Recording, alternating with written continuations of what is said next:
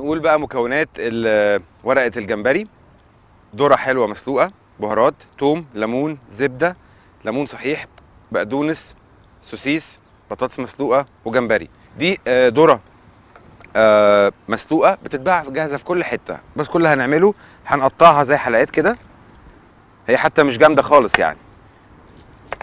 والليمون هنقطعه بنفس الطريقة. وطبعا ما دام هنستعمل الفرن يبقى لازم آه نكون مجهزين الفرن والع قبل ما ندخل أي حاجة جوه الفرن.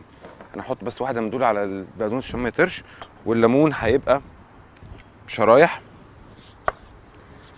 عندنا اختيار من اتنين ممكن نعمل نستعمل ورق الألومنيوم وممكن نستعمل ورق الزبدة اللي هو ال parchment paper.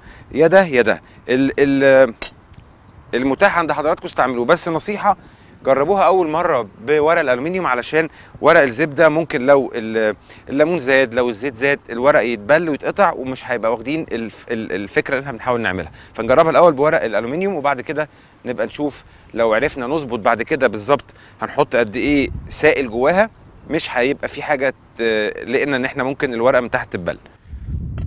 قطع برضو السوسيس أو الهوت دوج. بالمنظر ده كده أو أي تقطيع يعني. كده خلاص ما عندناش حاجة تانية تقطع غير البقدون توم. ثلاث فصوص توم. متنضفين دول وجاهزين. هنقطعهم إيه؟ هنعملهم slices مش رفيعين قوي. علشان ما يبقوش آه يعني عشان في الفرن ما يحصل لهمش حاجة. ولو إن هو مش هيقعد في الفرن أكتر من 10 دقائق ربع ساعة لو عاملين كمية كبيرة. كده بقى ممكن نبتدي نجمع كل حاجة مع بعض. نجيب ورق الألومنيوم. أو ورق السيلفر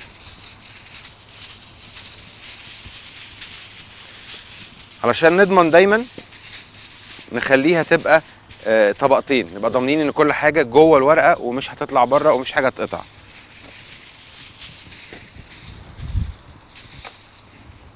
لو بيبقى طبقة واحدة ممكن يتقطع لكن طبقتين أو ثلاث طبقات كمان هيبقى أحسن. إدي واحدة وإيه دي؟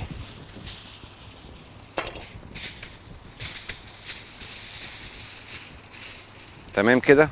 تمام.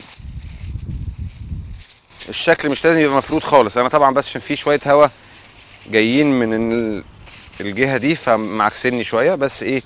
هنظبطها. ونبتدي بقى إيه؟ هنحط أول حاجة الليمون تحت كده. ليه هنحط الليمون تحت؟ علشان ما يبقاش direct contact أو. متصل مباشر بالجمبري فممكن يمرروا سن أنا عايز الليمون يديني بس إيه؟ ال... النكهة بتاعته. وبعدين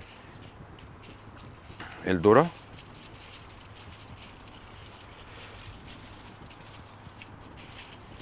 على فكرة الشكل ما يفرقش كل ده في الآخر هيبقى فوق بعضه. البطاطس لو قدرنا نجيب بطاطس صغيرة تمام لو ما قدرناش ممكن نسلق البطاطس الكبيرة وبعدين نقطعها صغير. يعني كده كفاية متهيألي. عملية كلها سهلة وبسيطة زي ورقة اللحمة بتاعت أماكن كتيرة. مش هقدر أقول الاسم طبعا بس إيه نفس الفكرة وأدي التوم. هناخد بقى الليمون والجمبري دول. زي ما قلت لحضراتكم الفكرة إحنا مش عايزين يبقى في سائل كتير جوه ال... جوه اللفة اللي هنلفها دي لأن لو في سائل كتير لو بنعملها بورقة زبدة هيتقطع. فنبتدي نتبل ونخليها آه، ما تبقاش مليانة آه، مليانة سائل جامد. والبهارات؟ فاضل عندنا شوكة بس عشان ما نمسكش حاجة بإيدينا. الزبدة. ليه بقى برضو بن بنخليها ما فيهاش سائل كتير؟ هي اوريدي مقفولة ومحكمة. فما دام مقفولة ومحكمة يبقى كل ال- العصارة اللي كل جوه كل مكونات كده كده هتنزل وهتبقى كفاية جدا إن هي تخليها آه، جوسي كده ولذيذة. البقدونس.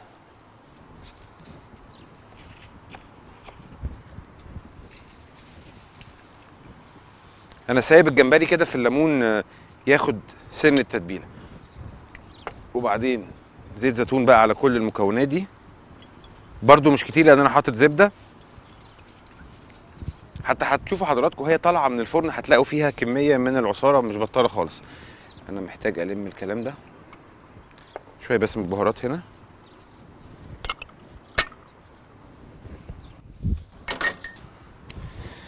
ما حطيناش ملح لسه. ملح. وشوية ملح خفيف على الجمبري علشان يفضل الجمبري آه طري ما ينشفش من جوه. عايزين بقى تزودوا بعد كده قرن فلفل حراق تمام؟ يعني اللي بيحب السبايسي بقى يبقى يزود زي ما يحب. قلب كده. تقليبة كويسة. وننزل الجمبري هنا من غير ما ننزل الليمون. وبما اننا هنستعمل الفرن طبعا يعني أغلب الناس بقى اللي بتتفرج علينا بقى لها فترة يبقوا عارفين إن إحنا يفضل مش يفضل يعني هو لازم نولع الفرن قبل ما ندخل أي حاجة الفرن. كده خلاص إحنا كده تمام. ولا هنقلب ولا هنعمل أي حاجة. هن... هنبتدي نلمها على بعض من ناحيتين. نمسك كده ونلف. تمام؟ الناحيه التانية. على فكرة أي تقفيلة تعملوها تنفع بس زودوا طبقات الورق الألومنيوم علشان ما فيش حاجة تتقطع. كده ونلفها. يعني بالفرنساوي اسمها على بابيات بس إحنا إيه بالمصري بنسميها ورقة لحمة أو ورقة ورقة جمبري. كده تمام؟ زي ما قلت لحضراتكم الكمية دي الب- البطاطس مسلوقة والبطاطس مسلوقة والذرة مسلوقة والسوسيس ده تقريبا جاهز والجمبري ما بياخدش 10 دقايق فهندخلها الفرن لمدة 10 دقايق ربع ساعة بالكتير ونطلعها.